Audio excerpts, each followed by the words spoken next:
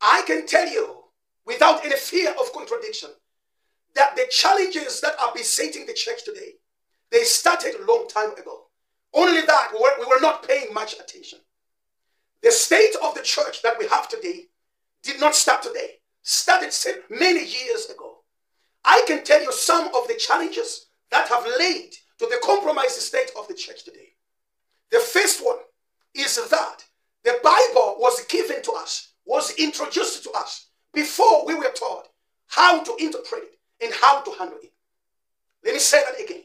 One of the challenges that is besetting the church today is because many years ago, many generations ago, when the Bible was given to us, most of us received or handled the Bible, only the Bible, before we knew how to read it, even how to interpret it.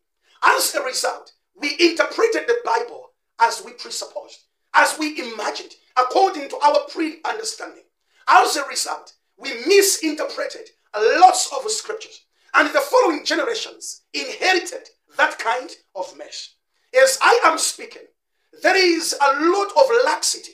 People handle scriptures carelessly. We interpret the scriptures as we please. Actually, the challenge is that even when you twist the Bible, it still sounds spiritual. That's a huge problem.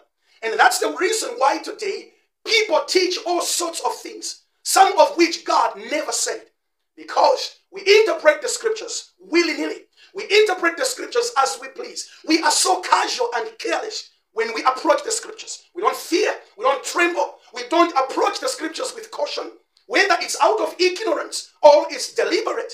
But there is a huge problem that scriptures are being handled carelessly, big time. So the problem that has led to some of the problems we are facing today, it's because everybody preaches the scriptures as they think, as they presuppose, as they please. So that creates a lot of bad doctrine. The second challenge, which is besetting the church today, it is the prosperity gospel. I do not deny God blesses people. God prospers people. But when we talk about the prosperity gospel, the main challenge with the prosperity gospel, it is the obsession with prosperity to the extent that every scripture in the Bible, we want to force it to mean material prosperity. The biggest challenge that is posed by the prosperity gospel, it is the twisting of the scriptures in order to tell people about material breakthroughs or material prosperity. To the extent that we force the scriptures to say what they never meant. That's another tragedy, which we must be worried about. Today, here is an example. In Ephesians chapter 1, on verse number 3, the Bible says, Blessed be the God and Father of our Lord Jesus Christ, who has blessed us in Christ with every spiritual blessing in the heavenly places. Many times I've heard people preach from this verse, Ephesians 1, verse number 3. They preach or they quote the words, He has blessed us in Christ with every spiritual blessings in the heavenly places. Many of the times that I've heard people preach from this scripture, they are talking about material prosperity. To say, if, look, God has blessed us in Christ with every blessing. In other words, they deliberately omit or ignore the word spiritual. So they say that God has blessed us in Christ with every blessing. Every blessing. So the emphasis is on every blessing. So to the common mind, people think of anything that they can think of. Any blessing, including material blessing. But always remember that the, the true meaning of a verse is in the context. Read the other verses and see what the verses are talking about. Then you make a precise interpretation.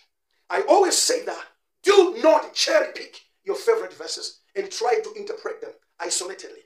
Because every verse whose context is ignored can be forced to mean anything you presuppose or anything you prefer. And that's the mistake a lot of people have been making on this verse. Let me remind you every time we misinterpret the scriptures, number one, we desecrate those scriptures, we reduce their power. Okay? Number two, we get away with a wrong message, which God didn't exactly say. And number three, we miss the real message which God wanted to speak to us. So context is key. So let's read again from verse number 3, and I will take you all the way to verse number 9. So the Bible says, Ephesians chapter 1, verse number 3.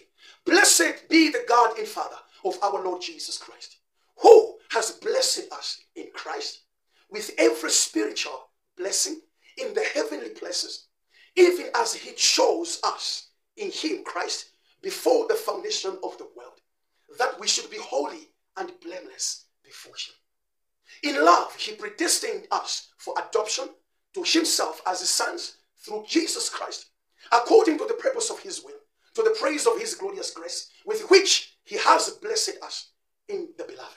In him we have redemption through his blood, the forgiveness of our trespasses, according to the riches of his grace, which he lavished upon us in all wisdom and insight, making known to us the mystery of his will, according to his purpose, which he set forth in Christ. Now, get me right here. I'm not against blessings. I do believe in God for blessings. Actually, God has blessed me in so many words, ways, including material blessings. But let us look at this context and respect it. First and foremost, the scripture says God has blessed us in Christ. And it says, with every spiritual blessing in the heavenly places. So, this number one, look at the word spiritual, which means the blessings that I've been talking about here are not material blessings. Fine. The material blessings may come as a result of the spiritual. But here the Bible is talking about every spiritual blessing. So, which means here, the topic, the blessings being mentioned here are spiritual blessings. Not necessarily material blessings. I'm not against receiving material blessings. No, there are scriptures to quote for that, for material blessings. But let's respect the context here. This is about spiritual blessings. And look at again, where, what is the dimension of these blessings? It says, in the heavenly places. And then the Bible begins to explain, to clarify from verse number four, to say, even as he chose us in him before the foundation of the world. What to do? That we should be holy and blameless before God. Now you see the spiritual blessings? The Bible is, the context is beginning to explain the spiritual blessings. So number one, the spiritual and heavenly blessings here. This, uh, this is number one. It is the spiritual blessing of us being made holy and blameless before the Father. So that is about salvation. And the Bible goes on to say, in love, he predestined us for adoption to himself as the sons of God through Jesus Christ. So the second clarification, the second or third, because the first clarification of those spiritual blessings or the spiritual blessing in the heavenly places is that it is the blessing of being sanctified, the blessing of being made holy and blameless before the Father. You know, the blessing of being made holy and blameless, it is far greater than material blessings of mansions, of cars, of good jobs, huge businesses. The, the spiritual blessings are greater than all the silver and gold of this world. So when the Bible says you, He has blessed us in Christ with every spiritual blessing in the heavenly places, the Bible goes on to say, so that we should be holy. So it's the blessing of holiness, it is the blessing of blamelessness before the Father. Then it also says that it is the blessing of adoption as the sons of God. Did you ever consider that being a child of God? It's a spiritual blessing in heavenly places. The Bible goes on to say in verse number seven, in him we have redemption through his blood. The word redemption, it is a marketplace language. The word redemption, which is agorazo, it means to buy out. So Jesus redeemed us. He bought us with a priceless amount of riches. So the spiritual blessing apart from being holy and blameless, being adopted as God's children, it is also the blessing of being redeemed, being bought by the most expensive price through the blood of Jesus. The Bible goes on to say, the forgiveness of our trespasses. So, this is also the spiritual blessing in heavenly places, the blessing of forgiveness of our trespasses. The Bible goes, goes on to say, this forgiveness is given to us according to the riches of His grace. We did not earn it, it's because of His love. In verse number 8, the grace which He lavished upon us in all wisdom and insight, making known to us the mystery of his will.